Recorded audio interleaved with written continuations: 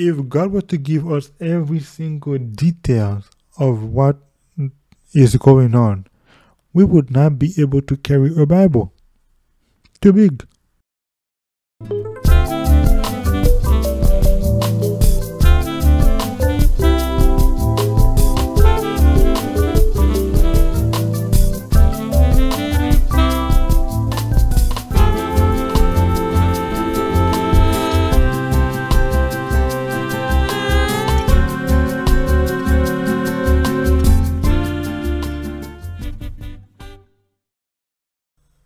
Hello, everyone. Welcome, welcome, welcome. We are continuing actually with the story of Noah. So, last time we left off at verse number 12. I kind of explained to you, uh, making it more practical than theoretical. So this is not like uh, so-called like a preaching, but it's explaining uh, based on that video that I made. Uh, I keep mentioning that one. It's gonna be up there on the card um, for you to see, and then I'm sure when you go there, you might see the comment and so we're gonna, we're gonna see why I'm talking about that story, which is the story of Noah. Which is the story of Noah. Now, before we move on, don't forget to like um, and subscribe to this channel. And uh, don't forget to share it with your friends. And maybe that might help uh, uh, a an agnostic uh, to see a different perspective of the Bible. Maybe the Holy Spirit will change that person's heart, so you never know. Always good to share it. Now, we before we oh, actually let's get to the topic of today, which is the Noah story. So we're gonna continue to to this one and now we're going to talk about, oh, actually, you know what? Now we're going to talk about the building of the ark. And God said unto Noah, The end of all flesh is come before me, for the earth is filled with violence through them. We saw that earlier in verse number 10, no, 11. And behold, I will destroy them with the earth. Okay? So now it look for some reason, when you read that, it means that God is going to destroy men. Yes, He wants to destroy men. But it's not that, it's not because they are men He wants to destroy it. It's the fact that they are doing evil. Funny thing, He said, the end of all flesh. So it's not just men, it's also animals. Funny thing, I don't, I don't understand that's one thing I, I want I, I need to start understanding. Whenever God would ask ask people to destroy an area, he said destroy men, women, children, even the animals. There is oh I, I, I need to study that part so I can understand why. Cause um but uh, for right now I'm not gonna get into that because I'm gonna actually take my time to study it as well. But he says he, the end of all flesh is before him because because the earth is filled with violence through them. So he won't destroy, he, he will, he's going to destroy the earth with them. Funny. Make thee an ark of gopher wood. Rooms shall thou make in the ark, and shall pitch it within and without with pitch. And this is the fashion which thou shalt make it of. The length of the ark shall be 300 cubits. Now, I, am going to bring that up quickly. The ark uh, symbolizes something. Okay, so even in, as we see, as we saw earlier in the other videos that you're gonna see up there in the card, even though God decided to destroy the earth, He always and that's why at the, at the, at the end of that last video, I said, God does not destroy people. people choose to be destroyed. You see, God, even then He wants to destroy the earth and everything else, He still makes a way of escape. Whatever how big that boat was, it would have taken everybody on this earth if every man wanted to be saved. Okay? So, even when God says He wants to destroy the earth, He makes a way of escape. And the ark is that way of escape. Let's get into it right now. 300 cubits is uh, a cubit is actually I would have to go and I think a cubit is like 1.5 foot long. Let me actually Google that one quickly because I think a cubit okay a cubit is 45.72 oh it's in 18 inches. Okay. So a cubit is 18 inches long. So imagine God's going to make 300 cubit so 300 times 18 inches. Man Whew. That's like four, yeah, three x 48. No, that's 54. 5400 inches long, basically. Man, how many feet is that? Oh, it's enough. Yeah, it's big enough. So, yeah, so that would be 5400 inches.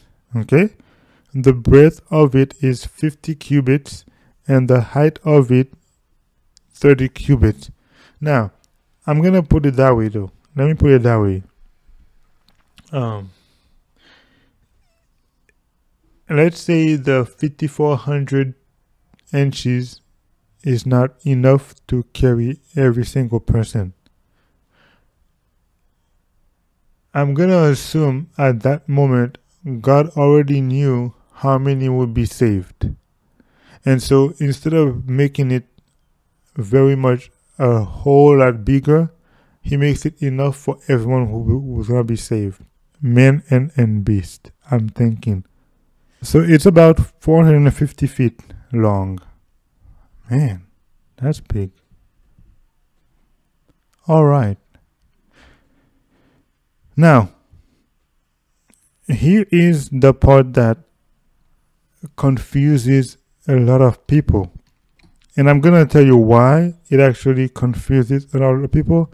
And this is one of the reasons why, when it comes to Bible stories, um, I don't like watching movies because the movie will never give you the whole story. You know why? Because Satan controls the entertainment industry. And let's actually see what I'm actually talking about right now. Now, we know that the length, verse 15, the length is 300 cubits and the breadth is 50 cubits and the height is 30 cubits. A window shall thou make, alright, a window shall thou make to the ark, and in a cubit shall thou finish it above. And the door of the ark shall thou set in the side thereof, with lower, second, and third stories, shall I make it. Okay, let's talk about that window part. A lot of people have, um, a lot of people have that, that um, idea, and this is where the movies come in to make it look what the, what actually the Bible is not saying. Let's see a picture of what people actually say all the time. Actually, what they actually show you when it comes to um, what the what it basically what the the ark looks like. Okay, let's see.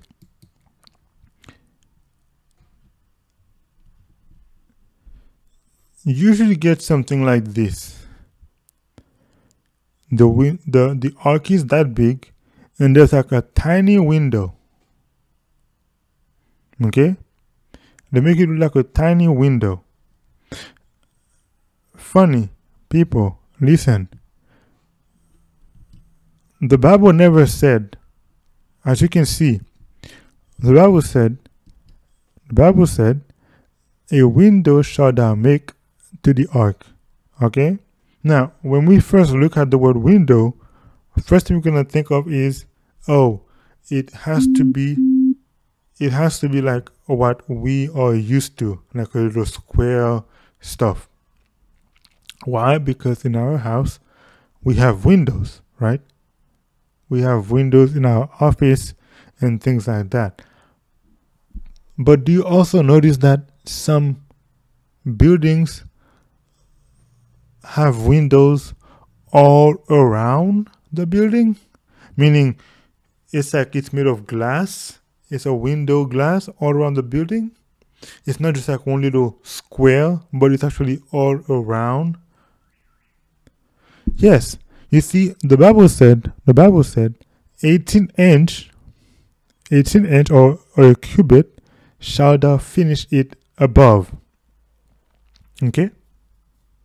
It didn't say it's gonna be 18 inch square window.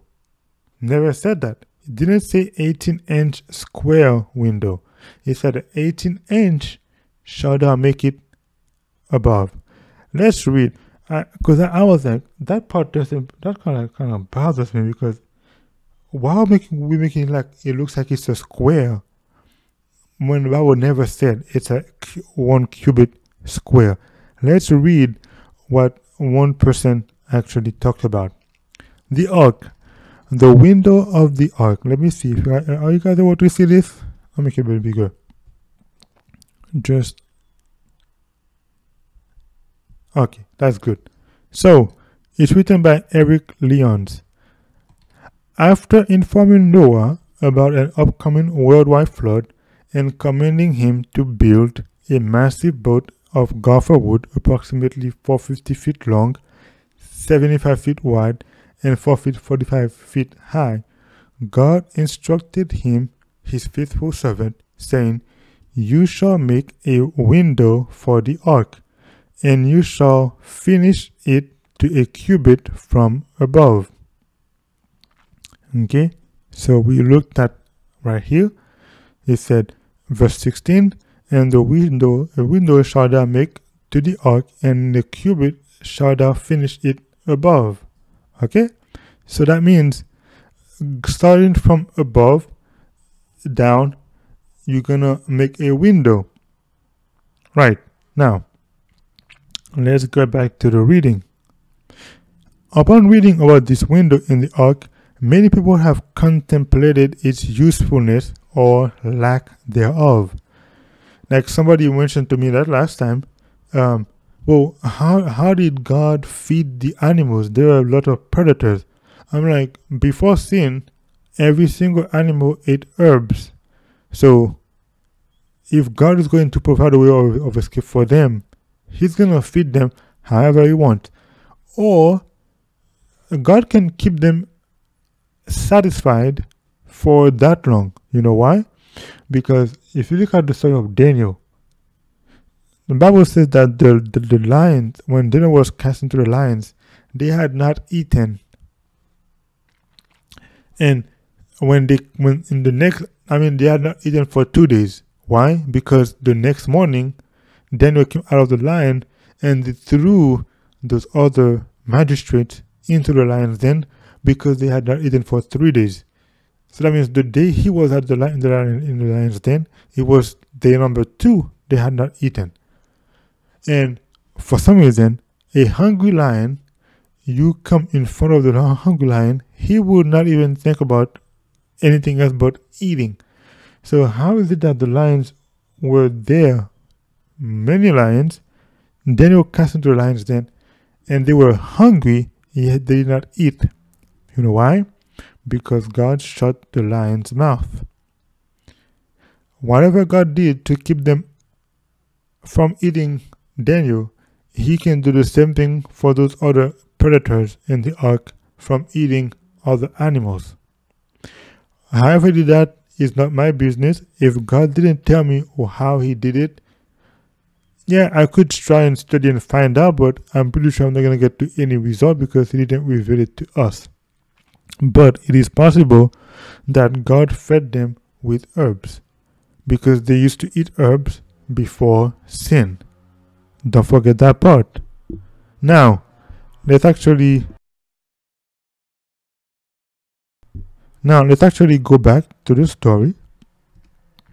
So the wind, the thing that the, it tells us that people would think usually, people usually think the it's actually a little square window that we have in our house or maybe in our in our churches, but Bible never said it was one square window. So we made that. So that's where the movie comes in and makes it look like it's a one square window. But you get the point. It is not just one square window as you see in those movies. Now people are trying to make more pictures of it, but anyways. So let's go back to the reading quickly. Upon reading, yeah. Now, since historically windows have served two basic purposes, that of lighting of lighting and ventilation, inquiring minds want to know what good one window eight, 18 inches square would be on an ark with a capacity of about 1,400,000 cubic feet full of animals. That's because they, they didn't think it was, they thought it was bigger than that. So, the one time editor of journal Biblical Errancy, he says, How could so many creatures breathe with one small window opening, which was closed for at least 190 days? Other skeptics have also have ridiculed the idea that sufficient ventilation for a whole ark could have come through this one window. Of course, they have to be skeptic, because how could just one window give ventilation?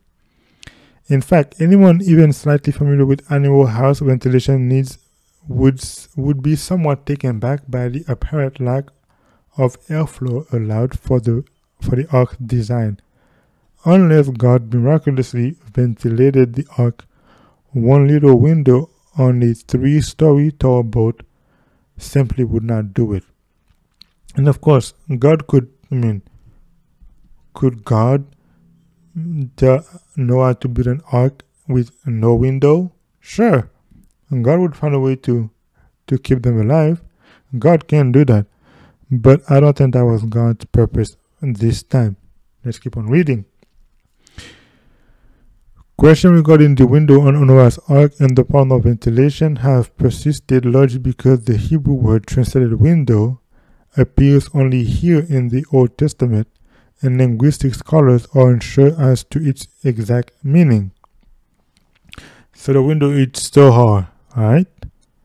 However, according to Old Testament commentator Victor Hamilton, they do so on the basis of the world's possible connection with Sahoharim, noon midday, thus an opening to let in the light of the day, basically. So Hebrew scholar William Gesenius defined Zohar in its Hebrew lexicon as a simply light. And thou shalt make a light for the ark. He then surmised that this light represented not a window but windows, plural. So windows, plural. Okay?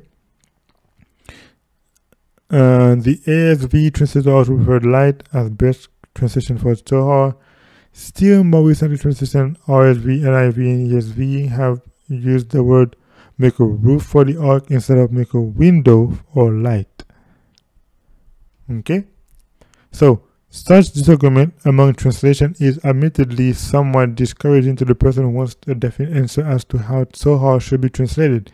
What is clear, however, is that the word translated window two chapters later which Noah is said to have opened, is translated from a different Hebrew word, chalon, than what is used in chapter 6, verse 16. The word chalon is the standard Hebrew word for window, yet interestingly, this is not the word used in chapter 6, verse 16. One wonders if these were two different entities or if in 8 verse 6, chapter 8 verse 6, Noah opened one of a plurality of aligned windows that God instructed him to make in verse 6, chapter 6, verse 16. So basically, what they are saying is, um, did Noah, in verse number, in chapter 8, verse 16, um, did Noah just open one of the many windows that are in the ark? That could be a possibility. Let's move on.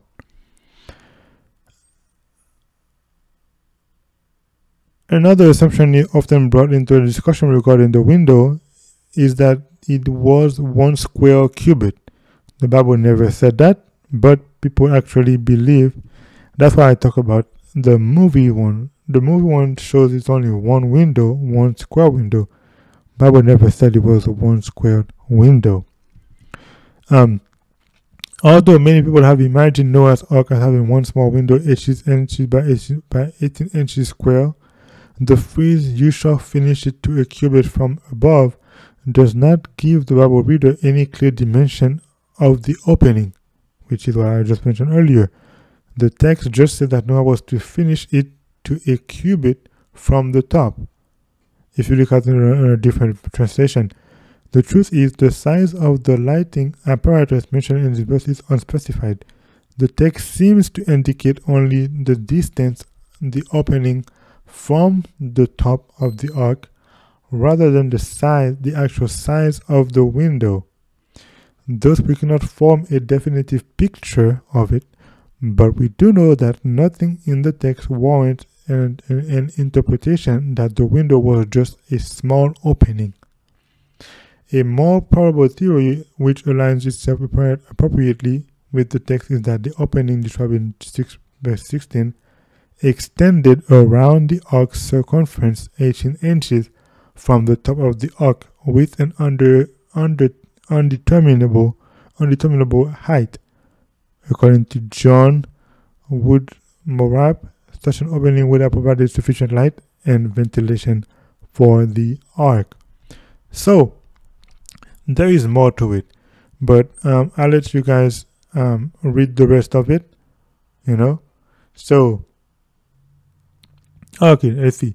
When reading the bible it is it always is important to remember that many details about the events it records often are not revealed to the to the reader. So it is with the plans recorded in the bible recorded noah's ark. As i mentioned if God were to give us every single detail of what is going on, we would not be able to carry a Bible. Too big. So, I, I wanted to just talk about this part of the story because people have that mindset it's just a one little square window. Bible never said that. Oh man, it's almost time we're gonna stop right here for this one because I'm gonna try to keep it below 30 minutes. Uh, I'm gonna, we're gonna, yeah, we're gonna stop. So don't forget to, of course, like and subscribe to this channel and uh, like the video and comment if you have a question. And I'll do my best after I'm done with the story to answer maybe questions. This was the Open Veil TV back again with another video for you guys. Hope to see you guys again. Until then, bye for now.